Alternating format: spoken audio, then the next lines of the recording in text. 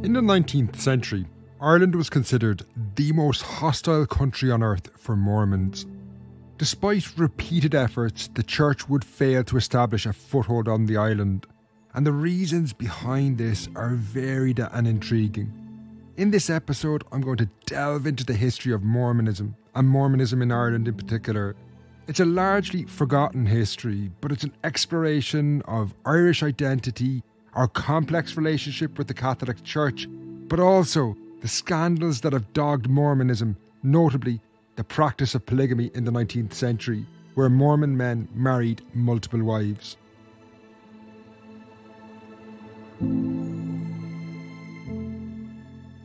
Hello and welcome to the Irish History Podcast. My name is Fin Dwyer. Now, before we start today's show, I just want to flag that next week the exclusive supporters series on the outbreak of the Troubles begins. Starting on Thursdays, episodes will be released fortnightly exclusively for the show supporters on Patreon and Acast Plus. Now, I've just finished the series, it's over three hours of content, and I think it's probably one of the best I've made yet. So, it's structured around conversations with Dr. Brian Hanley from the History Department of Trinity College Dublin. Brian has published two highly influential books on the topic The Lost Revolution with Scott Millar and Boiling Volcano, which looks at the impact of the Troubles in the Republic. So, this series is really going to be an expert's guide to the conflict. We'll be taking a deep dive beginning in the early 20th century and exploring how what seemed to be a normal, if unequal, society in Northern Ireland plunged into major violence over the course of a few years. If you're a supporter, you'll get that first episode on Patreon or Acast Plus next Thursday. If you're not a supporter, you can sign up at patreon.com forward slash Irish podcast or Acast Plus. I have links to those in the show notes below. And finally, before we kick off, I will say I knew very little about Mormonism until relatively recently. However, late last year, I kind of fell into a bit of a rabbit hole exploring the history of the church. In terms of understanding Mormonism, I did find the podcast Mormon Stories a really useful resource, but I do have a full list of the sources I used below. Now, to kick off today's episode, I want to give you a sense of the early history of Mormonism in general before we look at Ireland. But there's a fascinating story that helps us understand this, and that's the story of an Irish conman who helped get the religion off the ground in the 1830s.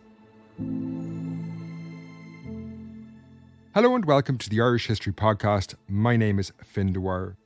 Now, before we dive into the story of Mormonism in Ireland, I just want to flag that my latest exclusive series for supporters kicks off next week. This is going to look at the outbreak of the Troubles in the 1960s, and it's based around conversations with Dr. Brian Hanley from the History Department of Trinity College Dublin. The series is a deep dive, so we go all the way back to the origins of the conflict in the early 20th century and take the story up until 1972. Now, that series kicks off next Thursday, and episodes will be released fortnightly exclusively for supporters on Patreon and Acast Plus. It's over three hours long, and having listened back to it, I think it's probably one of the best things I've made yet.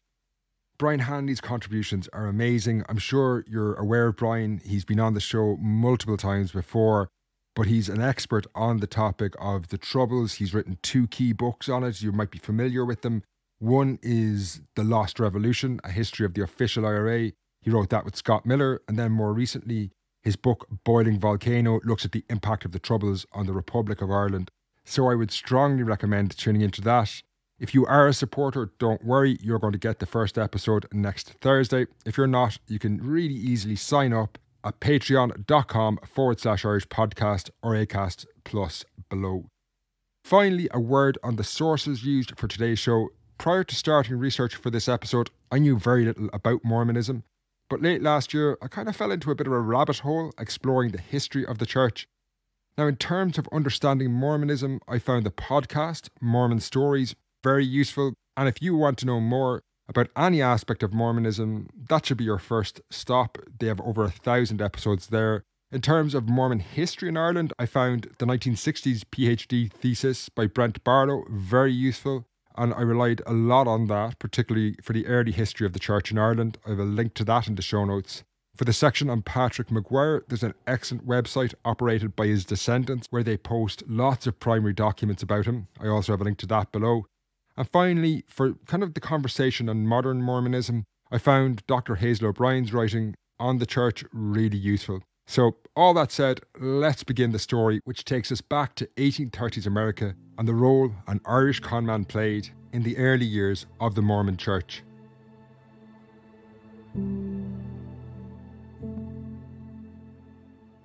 In 1835, an Irish emigrant, Michael Chandler, arrived in the town of Kirtland, Ohio, with a somewhat unusual cargo.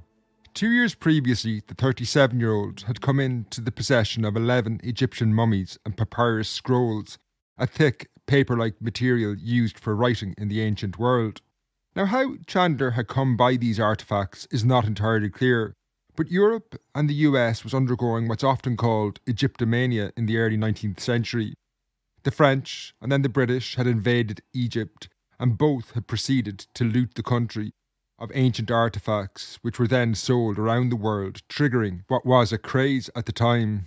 However, despite this interest in the ancient world, Michael Chandler, try as he may, struggled to find a buyer for the mummies and the papyrus.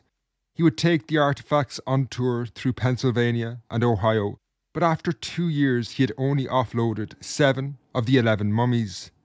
That was until he arrived in the town of Kirtland, Ohio, in the summer of 1835. It was there he encountered an unusual buyer, but a buyer nonetheless.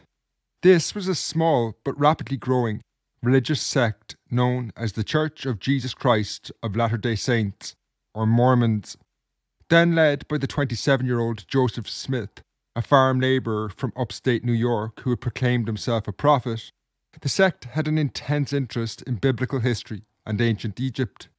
One of the group's sacred texts was something called the Book of Mormon, which the prophet Joseph Smith claimed had been given to him by an angel, and it was written on golden tablets. The tablets had been inscribed with hieroglyphs, writing similar to the symbols on Chandler's papyrus scrolls, and then the prophet Joseph Smith had translated them. This became the Book of Mormon. Now, the Irishman, Michael Chandler, quickly realised that this group, led by Joseph Smith, might be a potential buyer for his artefacts. Possessing original Egyptian artefacts would undoubtedly lend credence to the new religion, but it seems that Michael Chandler may have connived with the prophet Joseph Smith to use the artefacts to boost the Mormon leader's aura and reputation. Chandler showed Smith the papyrus scrolls and then claimed the Mormon leader was the best translator he had ever seen. Now, the truth of the matter was that neither Chandler nor Smith could decipher hieroglyphs. However, eager to offload the artifacts, the Irishman gave Joseph Smith a letter saying he was uniquely talented at translating the hieroglyphs. This may well have been part of a deal the two men hammered out because Smith and his Mormon following ultimately bought the mummies and the scrolls, paying the Irishman Michael Chandler a handsome fee of $2,400 for them. Now, that Irishman, Michael Chandler, soon afterwards disappeared from history. He bought a farm and lived what seems to have been a very average, normal, and uneventful life in rural Ohio. The same could not be said for Joseph Smith or his followers. The Mormon leader exploited the papyrus scrolls he had bought to their full potential. He spent years translating them, but the word translate was doing a lot of heavy lifting in that sentence.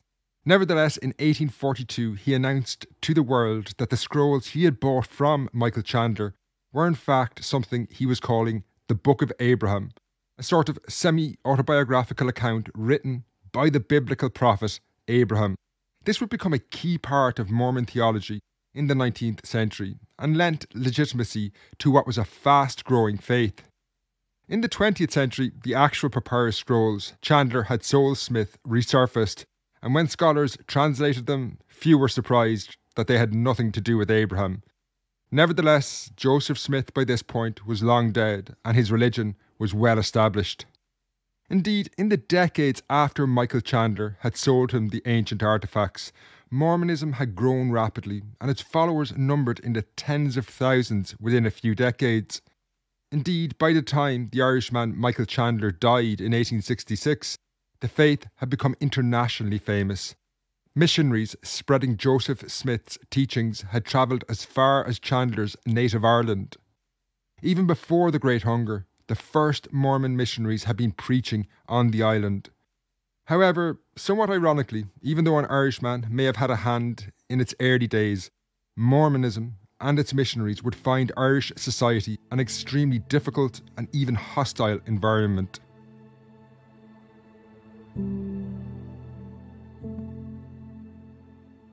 While Mormonism was founded in the USA, by the 1830s, missionaries had already been dispatched across the Atlantic Ocean to try and spread the faith to the United Kingdom.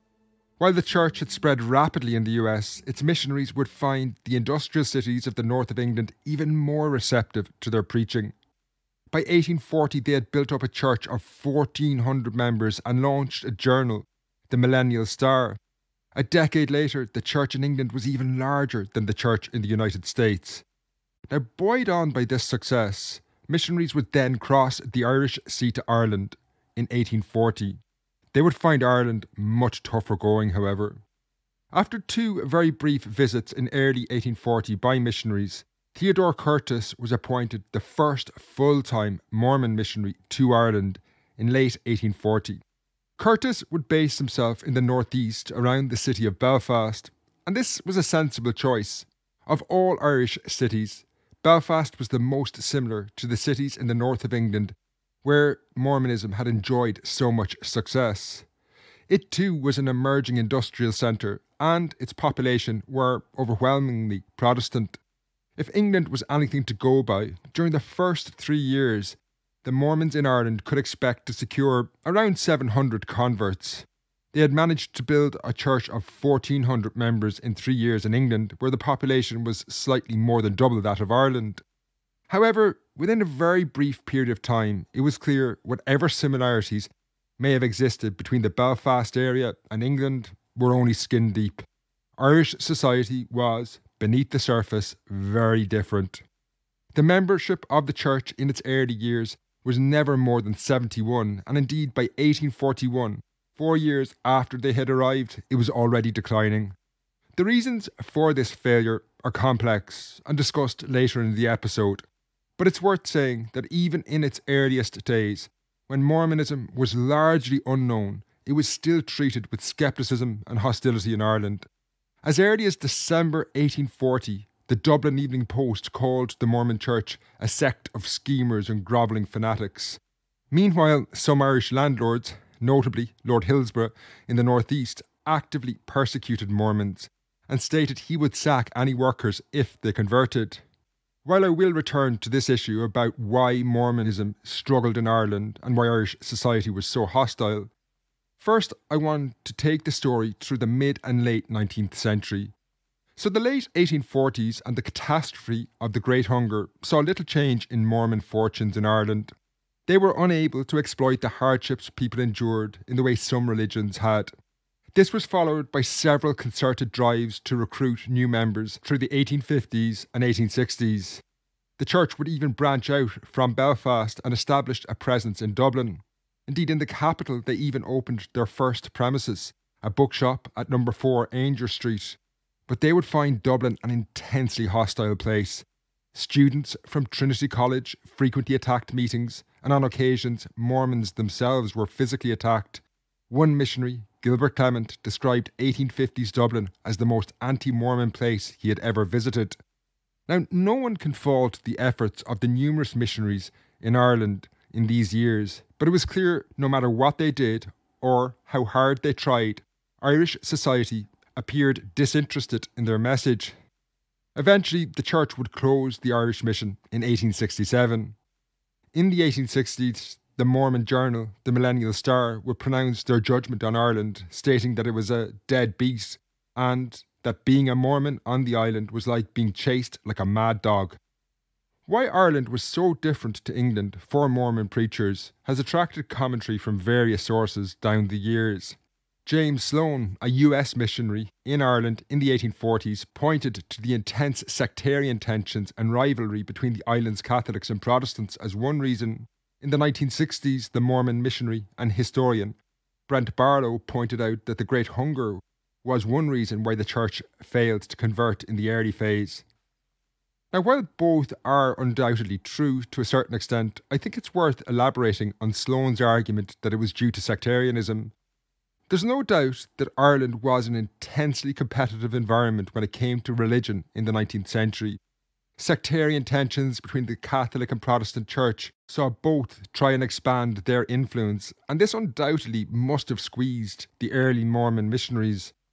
However, the issue also runs deeper than just sectarian tensions between the two main churches on the island. Religion in Ireland in the 19th and indeed much of the 20th century was not just an issue of theology and spirituality, it was also central to a person's wider identity as well. This was particularly the case with Catholics. When Mormon missionaries arrived in Ireland, Catholicism was emerging from two centuries of persecution. People had found themselves second class citizens purely because of the religion they had been born into. Catholic emancipation had been one of the key political issues up to 1829. Now, in this situation, converting from Catholicism to Mormonism was not only seen as an act of betrayal to your religion, but also to your community and even to your ancestors. Converting, therefore, had major consequences. A convert could expect to lose friends and family, while people did convert to various religions, it's also worth bearing in mind Mormonism had very little to offer people in Ireland in the 19th century. The sense of betrayal conversion would have provoked was only exacerbated by the fact that the Mormon Church had an intense hatred of Catholicism at the time. While these teachings have since been revised, in the 19th century, the Catholic Church was considered to be the great and abominable church referenced in the Book of Mormon. Now, all these factors combined to leave the overwhelming majority of the Irish population, Catholics, dubious of Mormonism from the get go. But it wasn't the only factor as to why the religion struggled in Ireland. Emigration, for example, played a role, although not in the way you might think. Through the 19th century, the Mormon Church encouraged its members to emigrate to the USA. Therefore, the rate of emigration among Mormons was always higher than the general population, so the community was constantly ebbing away. Finally, in the later 19th century, there was a series of explosive revelations about the Mormon Church. The impact of these tends to be downplayed by Mormons when they discuss Ireland. However, there's no doubt from the 1850s onwards, the church was considered increasingly sinister by many. This was due to the Mormon position on polygamy. The church encouraged men to take several wives, and conversations and attitudes towards this is something that has dominated and shaped attitudes towards Mormonism since the 1840s, and it's worth exploring in more detail.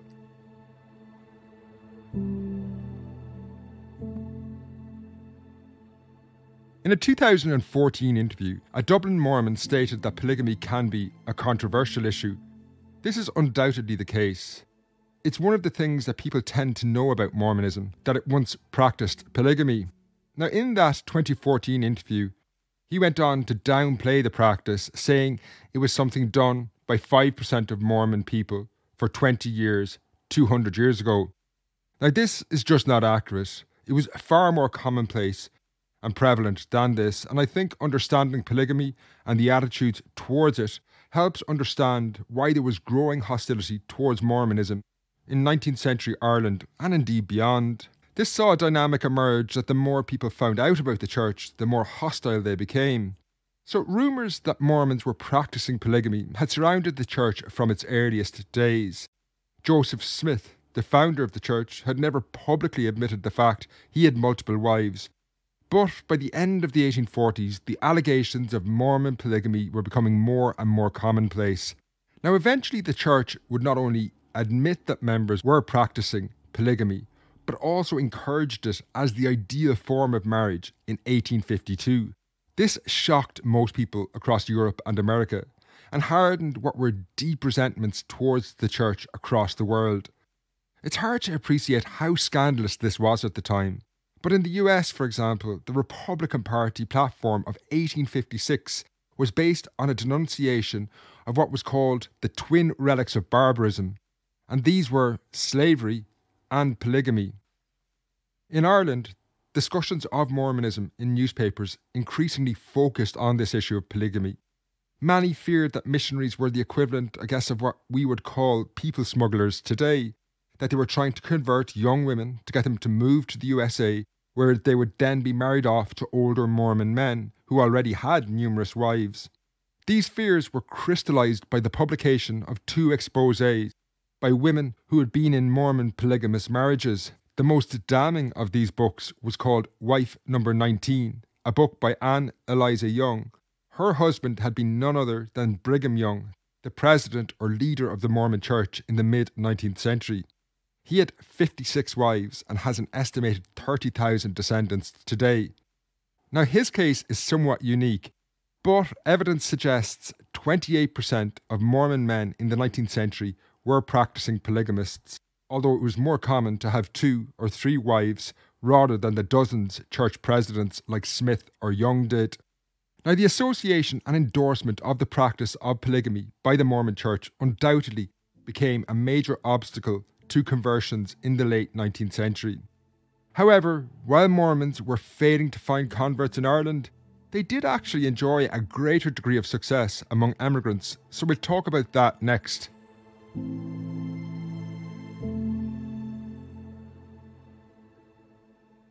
The levels of emigration from Ireland during and after the Great Hunger is something I've discussed many times on the show. The numbers are truly staggering. Millions of Irish people crossed the Atlantic to North America in the latter half of the 19th century.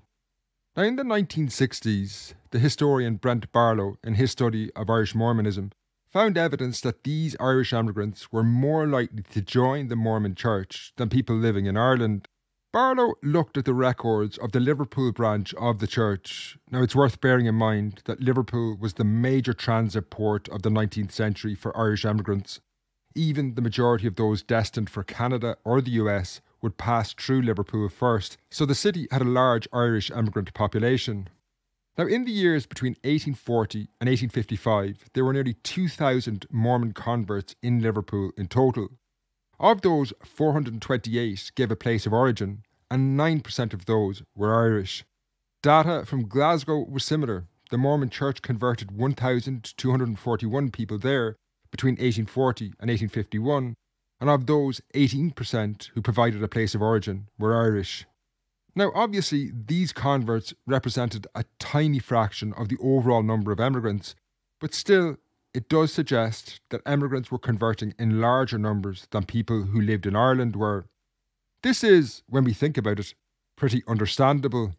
The process of emigration in the 1840s and 50s was fraught with risk and danger. It could be an isolating experience, leaving a person lonely in a strange environment.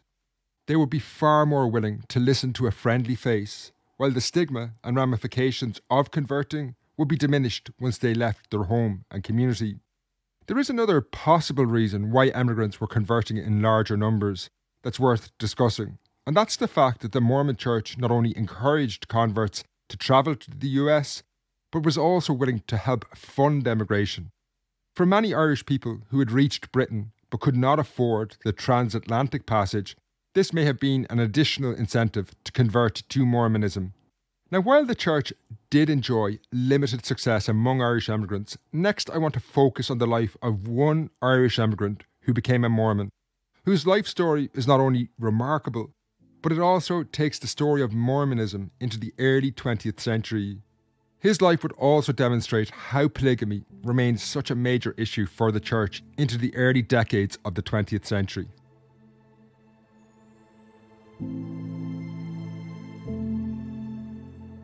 In 1910, Patrick McGuire arrived back in Ireland for what was only the second time since he had left as a child, 64 years earlier, at the height of the Great Hunger in 1847. Within a few months of arriving back to Ireland, he was interviewed by an Irish independent journalist, and there was no doubt McGuire had a truly remarkable story to tell. His parents had taken Patrick, then only aged three, with another sibling from their home in Derrylahan in County Cavan in 1847. The family would endure a harrowing ordeal in Black 47.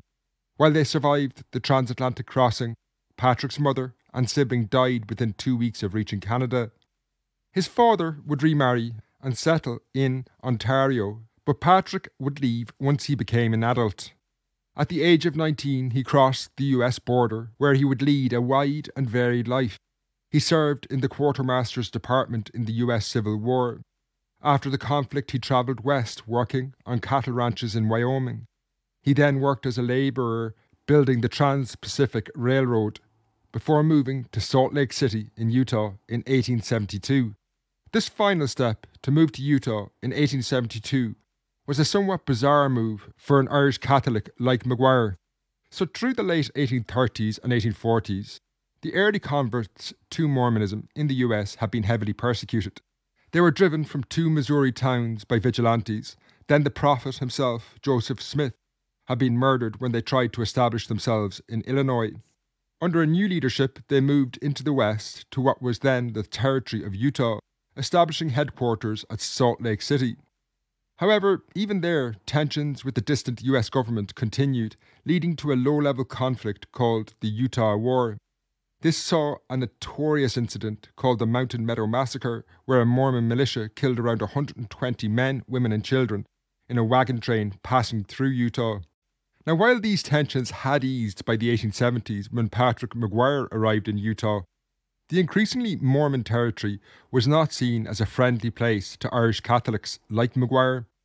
Already dubious about Catholicism, tensions between Mormons and Irish Catholics had increased after an influx of thousands of Irish people into the West to work on the Trans Pacific Railroad.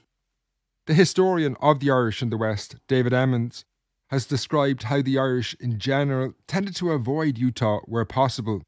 Nevertheless, the famine emigrant, Patrick McGuire, would settle in Utah in a town 40 miles southeast of Salt Lake City called Daniel and within a short period of time, he would actually convert to Mormonism and was baptized on January the 1st, 1873. And over the following decades, he prospered, rising from a farm labourer to a pretty prominent businessman. When he returned to Ireland in 1910, he was actually a pretty wealthy man and embodied the American dream in what was a real life rags to riches story. However, when he sat down for an interview with the Irish Independent journalist in 1911, the conversation glided over his pretty remarkable life. Instead, it focused heavily on McGuire's Mormonism, and specifically one issue in particular polygamy. So, under pressure from the US government, the Mormon Church had actually issued a document known as the Manifesto, advising against polygamy in 1890, and then had issued an edict in 1904 threatening excommunication on polygamists. But even after this, they could not shake off the stigma of the practice. Fears continued that missionaries would take young women to Utah where they would be married to polygamists. And when Patrick McGuire was asked about the issue, he didn't exactly allay the fears Irish people may have had. He actually would defend the practice of polygamy in principle and just said it was no longer practiced because of US law. The journalist then asked the next logical question of McGuire had he ever been a polygamist?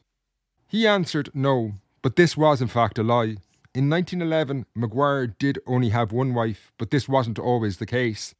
After converting to Mormonism, he had married a woman called Sarah Parcell, and together they had had 11 children. However, 11 days before Sarah gave birth to their fourth child, he had actually married a second woman, Annie Lee, and they had had two children together before the marriage broke up in 1885. Indeed, Patrick McGuire illustrated how the ghost of polygamy continued to haunt the church into the 20th century and continued to be an obstacle to conversions.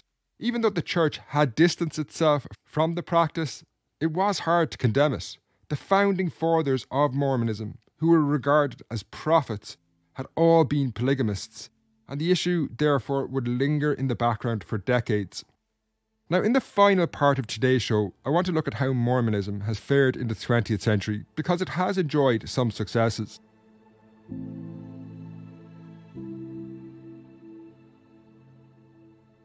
When Patrick McGuire returned to Ireland in 1911, he was actually part of a renewed drive by the church to establish a following in Ireland. While there were considerable numbers of missionaries working across the island, they still found the country intensely hostile. Indeed, while the Mormons were organising a major drive at the time, there was also a concerted effort to get the religion banned across the United Kingdom. Now, this would fail, but nevertheless, meetings were disrupted and attacked on occasion. In spite of these difficulties, the missionaries did enjoy some success and would claim 350 conversions by the end of World War I. However, in 1918, the drive ended with most missionaries, bar two, leaving Ireland. In any case, the following years would highlight another issue that would plague the Mormon Church in Ireland through the 20th century, and this was the issue of politics. So, as Irish society became increasingly divided around political issues as the War of Independence broke out in 1919, the Mormon Church actually had very little to say on the matter, despite the fact it was a key issue of the day. The official position of the Church was that it remained aloof from politics, but this left them removed from matters that affected everyday life. Now, following on from independence, the Mormon Church would find the Republic of Ireland where the majority of the population were Catholic, an extremely difficult place to recruit. They did fare slightly better, though, in Northern Ireland. And in the aftermath of the Second World War, the church would enjoy what was perhaps its greatest period of expansion there.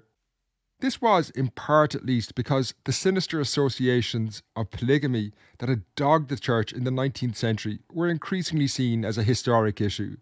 The church was increasingly accepted as another minority religion, if a somewhat eccentric one, given its relatively recent origins. This perhaps explains why it enjoyed modest growth between the 1950s and the early 1970s in Northern Ireland. This growth would see new branches opened in Bangor, Derry, and Portadown by 1961. It would also lead to the opening of an Irish mission. It had been part of the British mission up until this point. In 1967, the church would claim it had 104 members in the Republic, but a pretty large membership of 3,564 in the six counties of Northern Ireland. There's no doubt the church was growing in these years, although that figure has to be called into question. The 1961 census claimed that there were only 371 Mormons in both the Republic and Northern Ireland combined, if the Mormon church data was correct, this would mean that the church had grown tenfold in just six years when it claimed it had over 3,500 members in 1967. It also fails to explain why the 1971 census in Northern Ireland counted just 971 Mormons. Now, in more recent times, the church's growth appears to have been more focused in the Republic of Ireland in 2022, it would claim it had nearly 4,000 members in the 26 counties of the Republic. Again, this is a major exaggeration. The 2022 census conducted in the Republic stated that just 1,111 people stated Mormonism was their faith. This includes children, so it suggests that there may be as two to 300 Mormon families living in the Republic. In Northern Ireland, the situation appears to be similar, where there's 1,180 Mormons. Now, the situation for the Mormon Church is undoubtedly far healthier in the 21st century than it ever was in the 19th century, but it does face really major challenges going forward. While the crises that have dogged the Catholic Church could, in some readings, provide an opening for the Mormon Church, the words of the Irish Mormon Ben O'Farrell are revealing in this regard.